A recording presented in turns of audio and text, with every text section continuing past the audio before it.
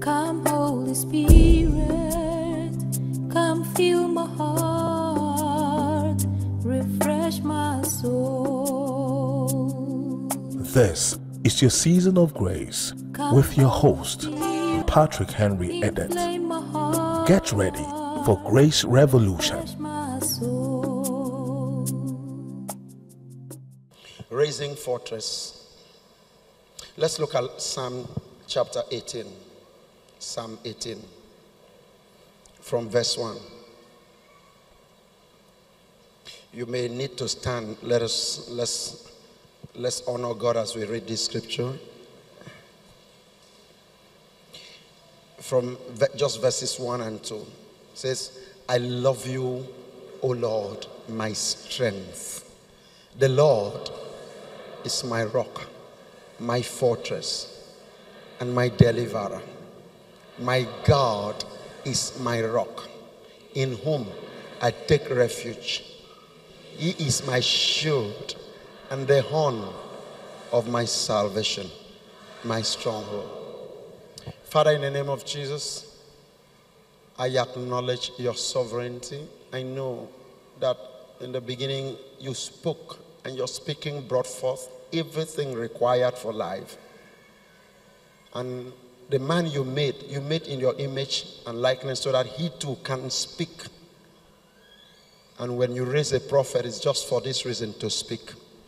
Daddy, I speak in full awareness and in total alignment with you and what you see concerning every soul here. That I will not speak my feeling, I will not speak my disposition, I will not speak my memory. That I will speak what you speak right now. That my voice will be the re echoing of your eternal voice. Oh, Daddy, every cedar of Lebanon in somebody's life, as you speak through me, let those cedars be wasted in the name of Jesus. And let your word go like thunder. And let things be shattered. Create pattern out of confusion. Impose order in the middle of chaos. And let life emerge again. I see that at the end of this speaking, life will emerge again. I say life will emerge again in the name of Jesus. Tell seven people, life will emerge again. Life will emerge again. Tell seven people, life will emerge. Life will emerge. If you have done so, you may be seated. After seven people, life will emerge again. Glory. I love it. We're talking about fortress.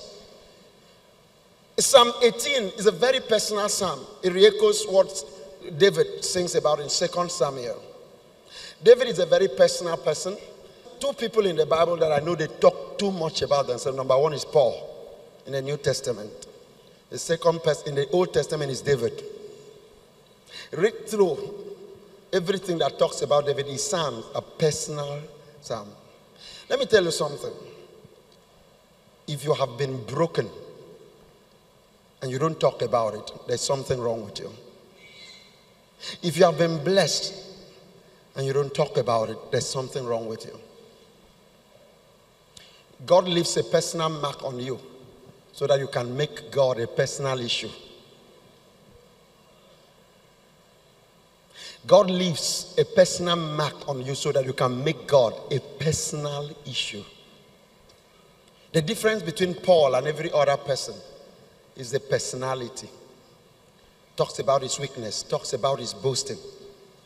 He talks about the thorn in my flesh and how I cry and ask God, take this from me. And God will say, shh, my grace enough for you.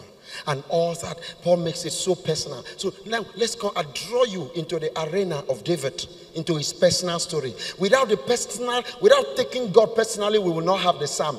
Every single psalm is a personal experience, a personal grief, a personal celebration, a personal joy, a personal, personal thing. That's why we have the psalm.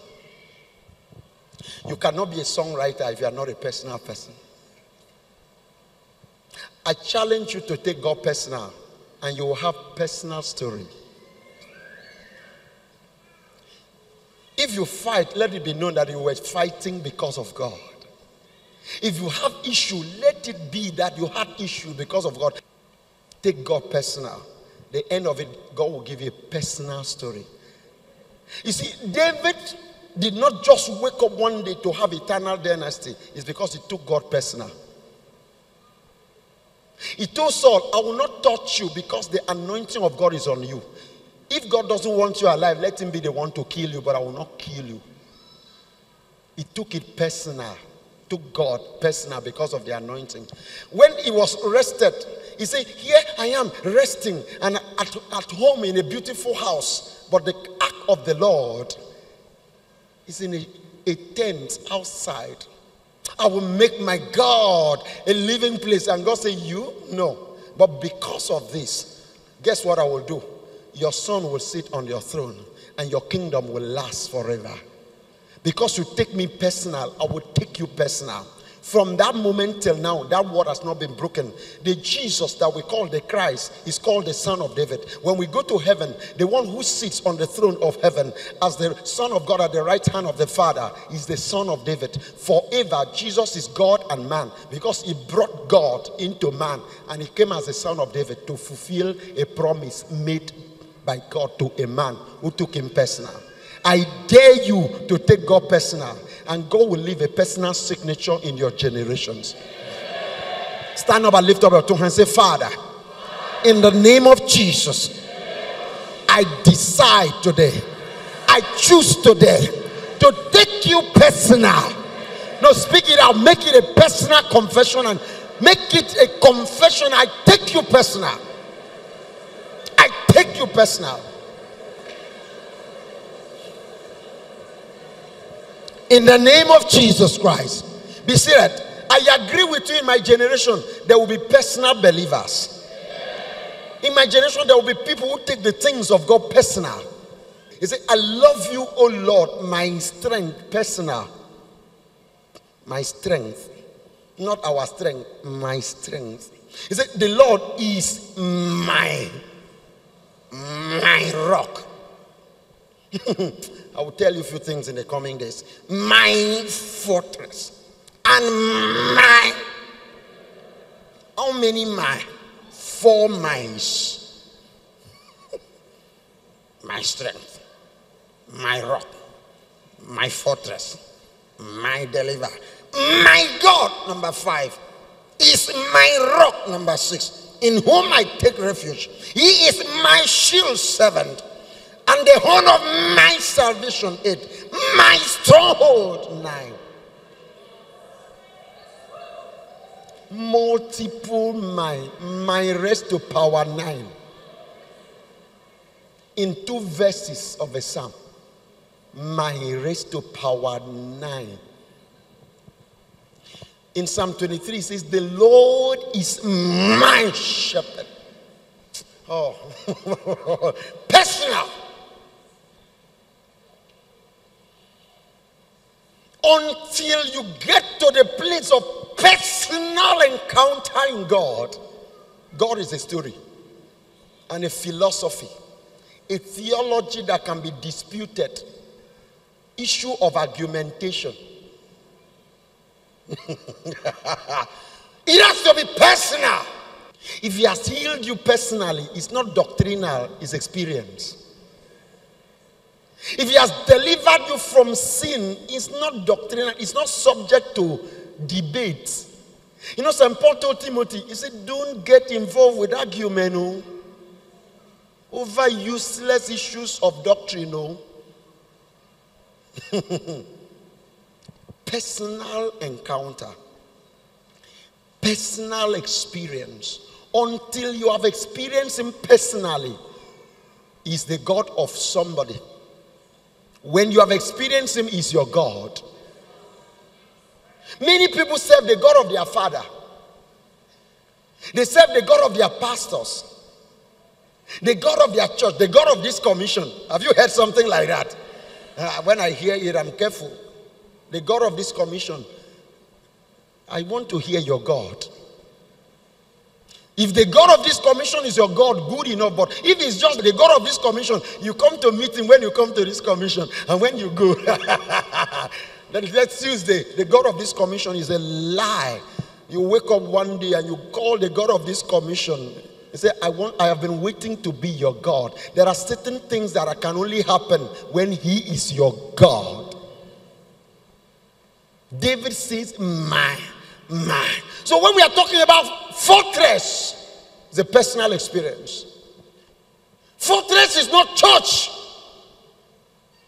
Fortress is not ministry. Fortress is not anything. Fortress is personal experience of God. David says, "My, my." Let's go back there. So the first thing in raising the fortress is mind. Tell somebody mind. The mind direction, the personal dimension. Until you have God as my God, witches are permitted to play with you, kick you as football in the night. You wake up, you, you, you slept on the bed, but you wake up from the floor. Yesterday, they, they caught you this side. They say there's nothing left in this side. So tomorrow, or today they cut you this. So tomorrow you can actually expect where they will cut you. You anticipate. Uh, will they cut me in front or in the back? Man, Abirogi, so you see, I told you it is in the front. They will cut me today. They have cut me in the front. because God is not your God. When God is my God, no witch, no wizard, no demon, no demoness, no devil. Because it's your fortress. Lift up your hand and say, God is my God. Let's talk about fortress. Fortress, according to dictionary, a place that is protected against attack. So, one basic thing in fortress is protection. Tell somebody protection. Basic, ordinary, commonplace surface dictionary definition of fortress is protected area. A protected area. When you go to any, because of the security issue in Nigeria and in most places, you go to any area that a, a, big personality, senior personality, either in government or in rulership or whatever, even economic leadership, where the person is living, you will see a form of fortress. You see bags, sacks of maybe sand piled up. It is a sort of fortress.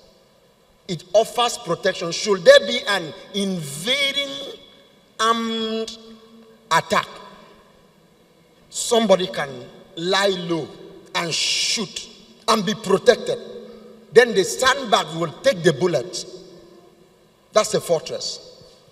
So now you already know what a fortress is. Go around town.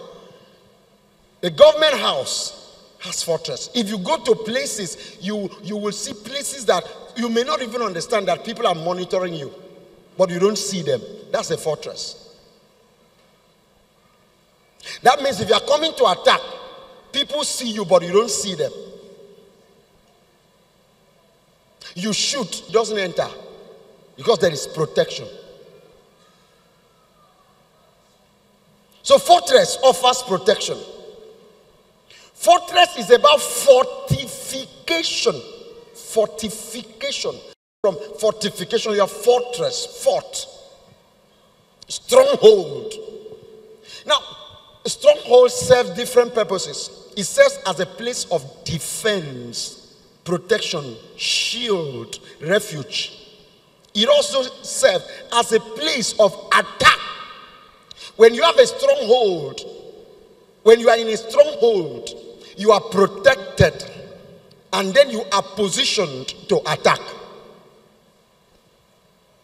Am I talking to somebody? Imagine the, the fortress we are talking about at the gates of one senior military man the sandbags that will be raised, or even at checkpoints on the road, you see those things will be raised. When somebody is there, there is defense, there is protection, there is, is taking refuge there. But it, it's also a place of attack. While you are coming, you are just walking, walking, walking. Bam! Because you are not protected and you shoot, the person goes down. So the person is defended and the person is positioned to attack you. While I was looking at the scripture for this revelation, God spoke to me about destroying the fortress of the enemy. Until you can identify the fortress, the stronghold of the enemy around your life, you will never go far. Because the fortress of the enemy is where the enemy hides to launch attack. And when you pray, Holy Ghost fire, you know, enter. That's why some people they say, I shout the Holy Ghost fire, Holy Ghost fire. It doesn't mean anything. As I try to call Jesus, Jesus, it doesn't mean anything. There are some people you call Jesus, it doesn't mean anything. That means there is a stronghold protecting the evil one against the effect of the name Jesus in your life. So, life is about fortification. How fortified are you? Our ancestors understood this and they had different forms of charms. This, they, they wore things around them. When a child was growing up, they would tie things around their waist, tie things around their neck. These were fortifications to protect them, to serve as stronghold where their souls take refuge were defended and they could do anything. So those who are charmed, those who have charms and all that, you, you try them, you don't hurt them, but they try you, they hurt you because they are protected. But the real fortification is in God. Shout hallelujah. Okay, let's look at the understanding from the Bible of fortification or fortress. The word in Hebrew, Metsudah. Metsudah.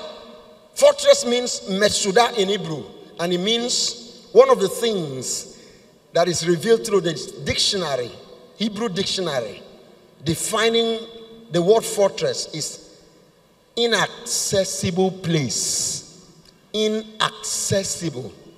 A place that is inaccessible. So, fortress is inaccessible place. A place that another person does not have access to. Am I talking to somebody?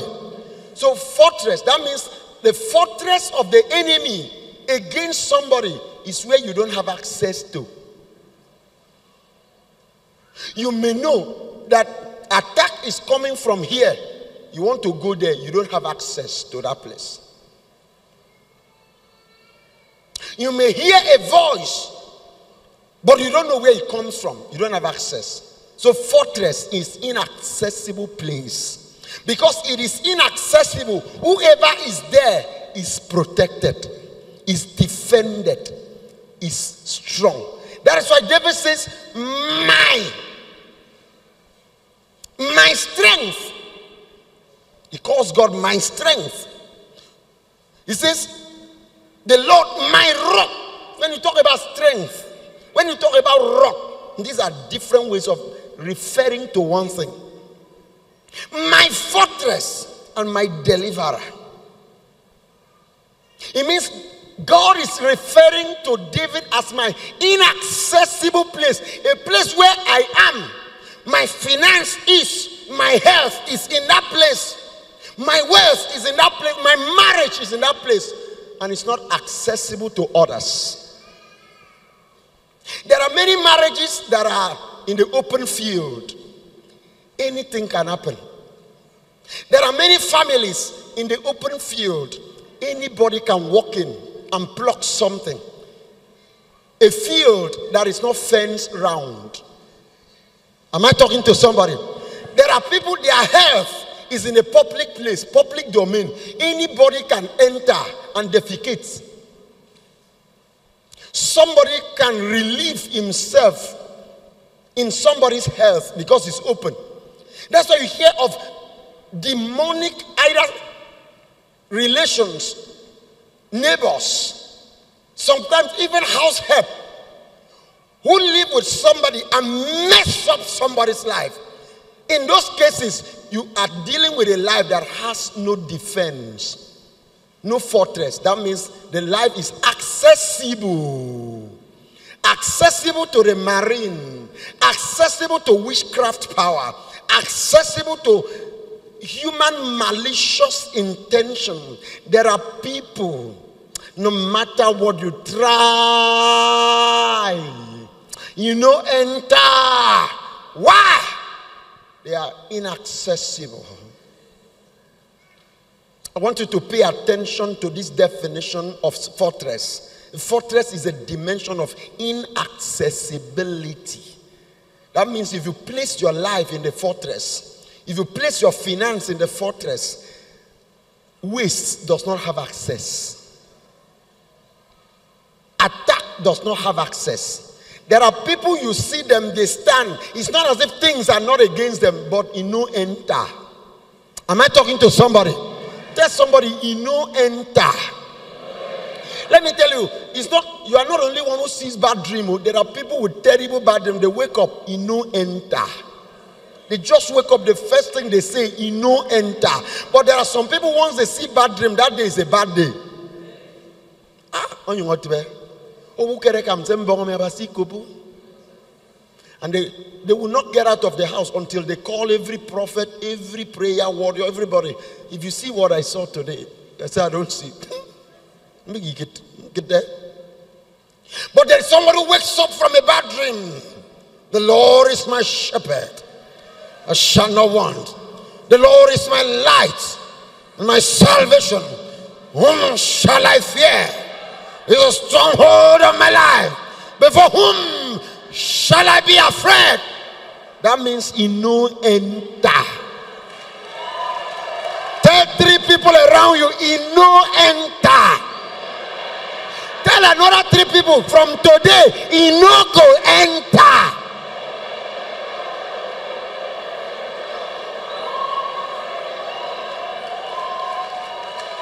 If you want to give a clap of offering unto the Lord, you give and shout because Jesus is Lord. Glory to God. So when you see people who stand in the face of issue, it's not as if they are not attacked, it's because their life is inaccessible. Their destiny is inaccessible. Let me tell you, I don't worry about what people say as long as I'm in the fortress. Don't care about what people do as long as I'm in the fortress.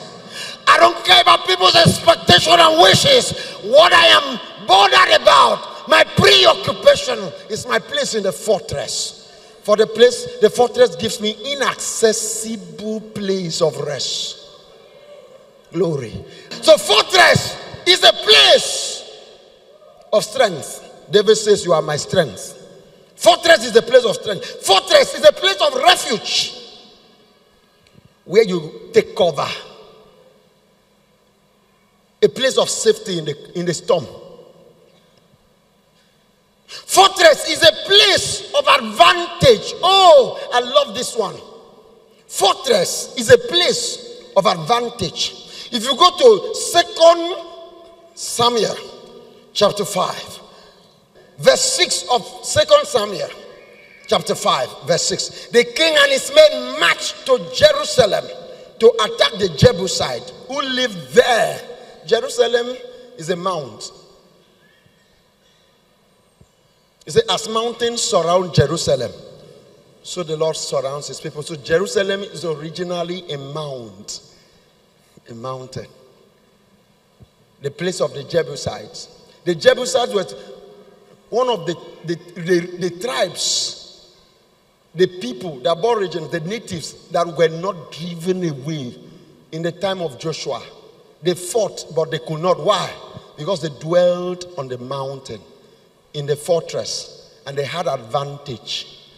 Fortress gives you advantage. Advantage is being ahead, having an edge. Advantage. Tell somebody advantage. Life has to do with advantage. When you are writing a business proposal and you are competing for a contract with somebody whose brother will be the one to access you, the person already has advantage. Am I talking to somebody? Why people join cults? They want to have advantage. Why certain people join political party? They want to have advantage. It's not because they care about you. So people join some churches not because they want salvation, advantage. We have to be very careful when evangelism is now more about church rather than Christ. It's satanic. It becomes issue of human advantage. That means attention is no longer drawn to the Savior, it's drawn to the club that carries the name of the Savior. Jesus Christ says, On the last day, people shall say, I used to do this. I say, Get out, I don't know you. It is three, it is real. Be careful. If you are joining a church, if you are in a place, even as a worker, to have an advantage in order to get married, in order to be seen, in order to be known, to have connection, is satanic. It is the same tendency that takes people to cult. That means for you, church is a cult, not salvation. So, fortress is advantage. When you are, if, when you are in an in inaccessible place, your health is there, your wealth is there, your strength is there. You have advantage over the enemy. You have advantage over witches and wizards. You have advantage over Satan and darkness. You have an edge. You are on top of your game. You are ahead. Steps ahead of the enemy. Before he strikes, he has missed you. You have moved on before he arrives. Am I talking to somebody? Fortress gives you advantage. And David is talking about God. That means God gives you advantage. Now, this is the narrative of Grace Family. I will preach about this every day. My generation must know that when you know God, you have the greatest advantage. Until you know it, you have not yet known anything. Until you know that having God as your God, like David, you can say, My God means my advantage. Tell somebody, My God is my advantage. And you must know it. If you can know God as my God, the moment He is my God, it becomes my advantage.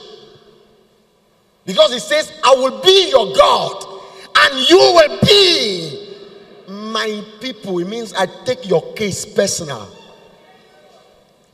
When he was fighting with Pharaoh, he denied Pharaoh of succession. The firstborn of Pharaoh was taken because Pharaoh was taking, was touching my, my people. Those who enjoyed divine advantage.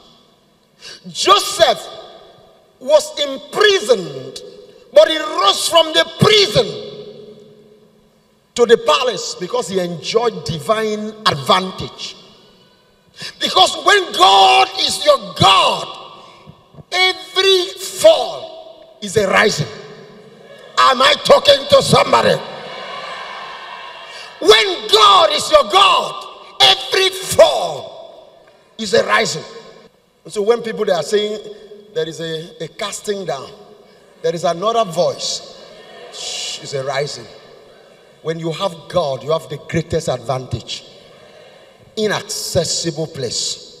I speak in the name of Jesus. By the administration of grace, you will locate your inaccessible place of dwelling. I speak in the name of Jesus. From now, you will be comfortable in God. You will be comfortable in God. From today, you will begin to enjoy divine advantage. I speak upon every child of God that has been harassed, haunted, and haunted.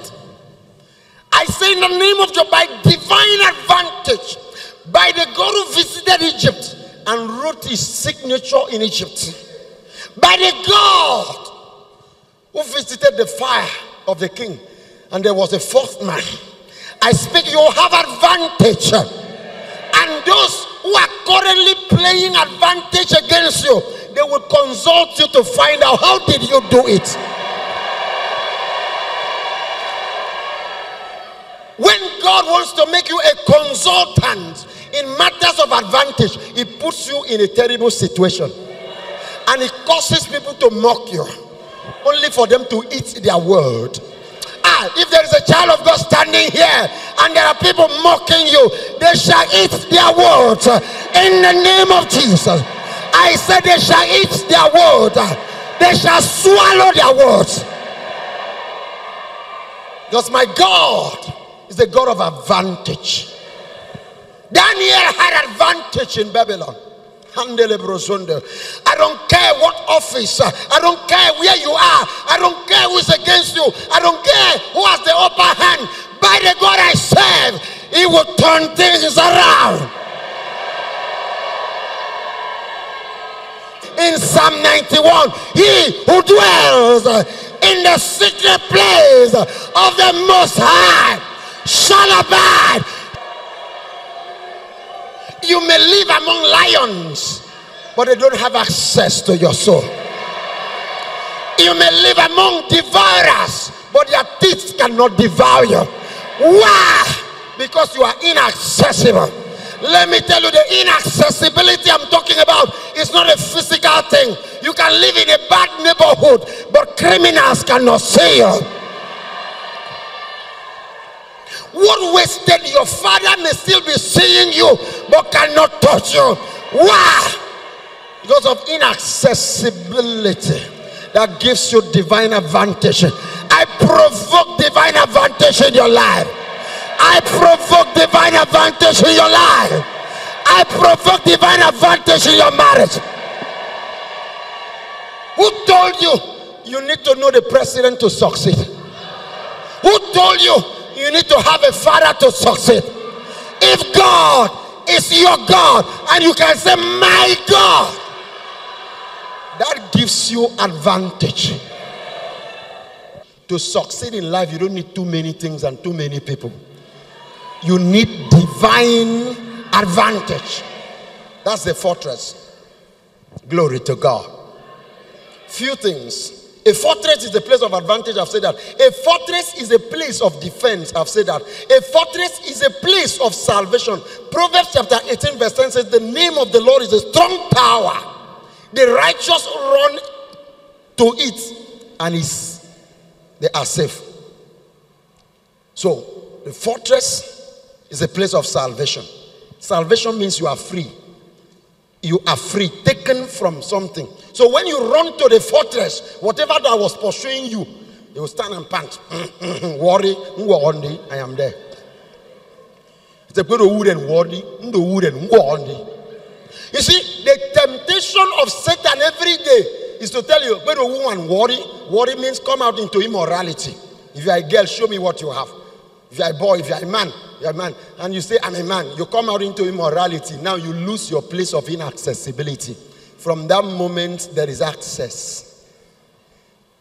Sin gives enemy access. Sin breaks your inaccessible place and renders you accessible to the eyes of evil. They can now see you. They can now touch you. They can now map you and predict you and monitor you and limit you and cause you to stand. I will keep telling you whatever sin is in your that is working in your life is the greatest problem you have. You don't have any problem with a witch. God is not in the business of killing witches. Oh. No. God is not in the business of killing witches. He's in the business of saving witches. He wants witches to be saved. How will they be saved? When they encounter a man who is too much. And they have tried and tried and tried, down they know whatever they are serving is a lie. And they'll come and tell you, wherever you have been going to take me there, I have encountered a bigger power. That's God wants. So if all your prayers, let them fall down there like me. Now if I raise a prayer, let all witches fall down there. You see people, they will dance. Duokpa, duokpa, duokpa. That's traditional, traditional society prayer. Native, native prayer. Native prayer, not Christian prayer. God wants to save witches, not to kill witches. He says, He prepares a table before me in the very sight of the enemies. The issue of God is that He wants you to live in the fortress, the inaccessible place where witches, witches they not like you. You have a neighbor who doesn't like you but cannot stop you. You have a colleague in the office that does not want your good, but he keeps hearing your testimony every time. Multiply your testimony and let your enemy know there is a God that makes you inaccessible. Glory to God. Say glory to God. When you know Jesus, look at look at Colossians chapter 3 from verse 1 to 4. Colossians chapter 3 from verse 1 to 4. Since then, you have been raised with Christ. Set your hearts on things above, where Christ is seated at the right hand of God. Set your minds on things above, not on earthly things, for you die, and your life is now in Second Samuel. The first thing that David did was to destroy, to bring down, to overtake the fortress of the Jebusites. Your own fortress is not safe until the fortress of the enemy is destroyed.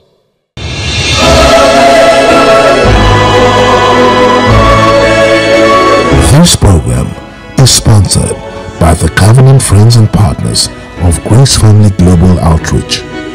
You can be part of this grace revolution by becoming a covenant partner today. Allow God to use you. Our account details are as follows. Bank, Zenith Bank. Account name, Grace Family Global Outreach. Account number 101 42 97863. For inquiries, please call 081 804 33225 or 090 738 38742. To all our covenant partners and friends, we say thank you. Like the widow of Zarephath, your oil will never run dry. To order further books, messages, and other resource materials, please call or send an SMS to 080 660 46346 or 081 804 33225.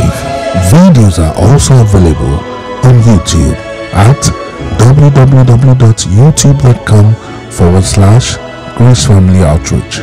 To stay connected, like us on Facebook at Grace Family Outreach or visit our website at www.gracecommission.org.